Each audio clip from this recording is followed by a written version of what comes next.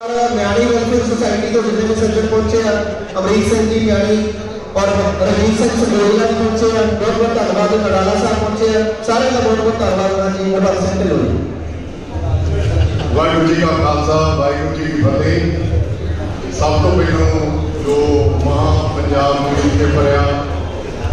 ਉਸਦੇ ਅੱਜ 4 ਸਾਲ ਪੂਰੇ ਹੋਏ ਆ ਉਹਦੇ ਤੇ ਸਾਰੇ ਆਪਾਂ ਉਸ ਖੁਸ਼ੀ ਦੇ ਵਿੱਚ ਸਾਰੇ ਆਪਾਂ ਇਕੱਠੇ ਹੋਏ ਆ ਅੱਜ ਸਭ ਤੋਂ ਪਹਿਲਾਂ ਸਵੇਰੇ ਜਿਹੜਾ ਵਾਲੂ ਕਮਿਊਨਿਟੀ ਕੌਂਸਲ ਦਾ ਲਿਖਣ ਦਾ ਕੈਪਟਨ ਆ ਕੈਪਟਨ ਕਲੀਨ ਉਹਨੇ ਦੋਨੋਂ ਗੁਰਦੁਆਰਿਆਂ ਦੇ ਵਿੱਚ ਜਾਣਾ ਸੀ। ਅਸੀਂ ਸਵੇਰੇ ਅੱਜ ਦੋਨਾਂ ਗੁਰਦੁਆਰਿਆਂ ਦੇ ਵਿੱਚ ਉਹਨਾਂ ਨੂੰ ਪੁਲਿਸ ਕਮਿਊਨਿਟੀ ਨੂੰ ਤੇ ਕੈਪਟਨ ਨੂੰ ਲੈ ਕੇ ਗਏ ਸੀ।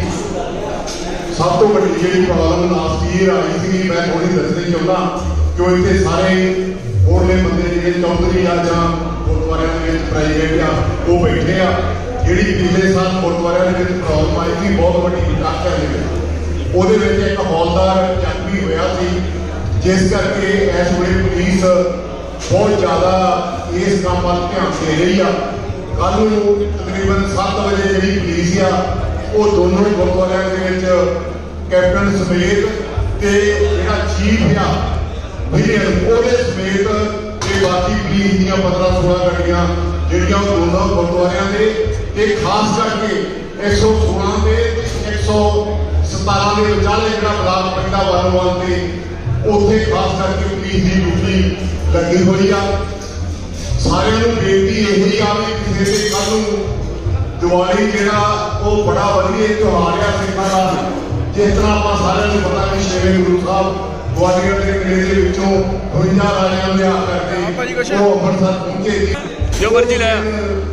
ਲਿਆਵਾਂਗੇ ਜਦੋਂ ਅੰਮ੍ਰਿਤਸਰ ਮਰਜ਼ੀ ਲੈ ਆ। ਪਹੁੰਚੇ ਸੀ ਇਹ ਸਿੱਖਾਂ ਨੇ ਨੀਵੇਂ ਵਾਲ ਕੇ ਉਹਨਾਂ ਦਾ ਸਵਾਗਤ ਕੀਤਾ ਸੀ। ਸਾਡਾ ਵੀ ਇਹ ਬੜਾ ਵਧੀਆ ਦਿਨ ਆ। ਮੈਂ ਦੀਵਾਲੀ ਦੀ ਸਾਰਿਆਂ ਨੂੰ ਲੱਖ ਲੱਖ ਵਧਾਈ ਦਿੰਦਾ ਹਾਂ ਤੇ ਦੂਸਰਾ ਸਾਰਿਆਂ ਨੂੰ ਬੇਨਤੀ ਵੀ ਕਰਦਾ ਹਾਂ ਕਿ ਪਲੀਜ਼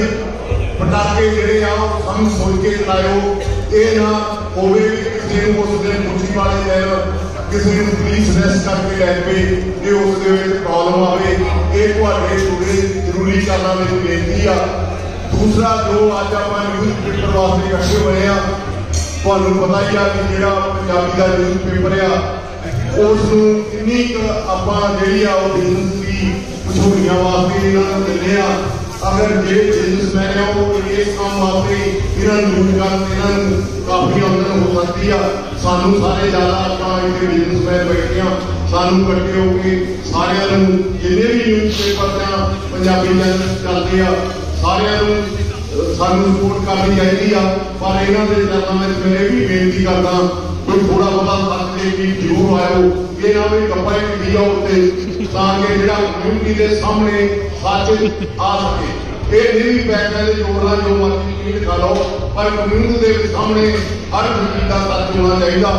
ਮੈਂ ਇਹ ਬੇਨਤੀ ਕਰਦਾ, ਦੂਸਰਾ, ਸੰਤ ਬਾਬਾ ਪ੍ਰੇਮ ਸਿੰਘ ਸੁਸਾਇਟੀ ਵੱਲੋਂ ਸਾਡੇ ਨੂੰ 7000 ਡਾਲਰ ਜਿਹੜਾ ਅਸੀਂ ਮਹਾ ਪੰਜਾਬ ਨੂੰ ਦਿੰਦੇ ਆ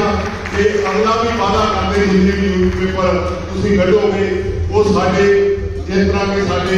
ਸੰਤ ਬਾਬਾ ਪ੍ਰੇਮ ਸਿੰਘ ਸੁਸਾਇਟੀ ਦੇ ਜਿਹੜੇ ਸਾਰੇ ਮੈਂਬਰ ਆ ਮੈਂ ਸਾਰਿਆਂ ਦੇ ਨਾਮ ਨਹੀਂ ਲੈਣੇ, ਪਰ ਇੱਕ ਸੈਕਟਰੀ ਸਾਹਿਬ ਨੂੰ ਕਹਾਂਗਾ ਵੀ ਉਹ ਸਾਰਿਆਂ ਦੇ ਨਾਮ ਲੈ ਦੇਣ ਤਾਂ ਕਿ ਜਿਹੜਾ ਸਾਡੀ ਕਮਿਊਨਿਟੀ ਨੂੰ ਪਤਾ ਲੱਗੇ ਵੀ ਜਿਹੜੀ ਕੋਈ ਵੀ ਸੁਸਾਇਟੀ ਆ, ਜਿਹੜਾ ਕੋਈ ਕੰਮ ਕਰਦੀ ਆ, ਜਾਂ ਕਿਸੇ